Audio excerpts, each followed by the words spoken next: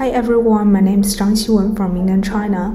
At beginning, I want to share my experience related to media with you. Actually, finding my love for visual creation is my way to find a more confident self in my college life. So, what does this confident self consist of? First, photography. I enjoy shooting all kinds of photo in life, like this or this.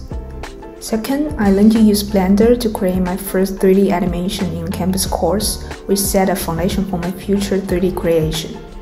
Then, in multimedia design course, I designed an original skateboarding app, including its logo, concept, application interface, and interactive functions. I think this is a very interesting project for me to inspire my visual creation. Lastly, making short film with my friends.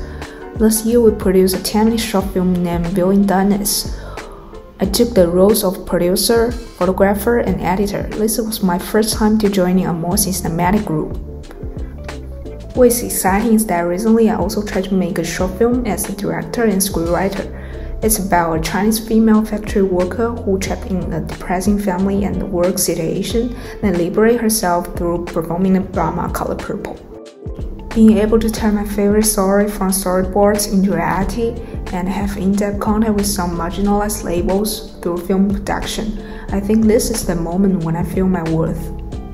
This film will be shot in 10 days. These days during countless tired but satisfying moment, I have always cherished the hope of starting film in Australia in the future, an open country with more possibilities.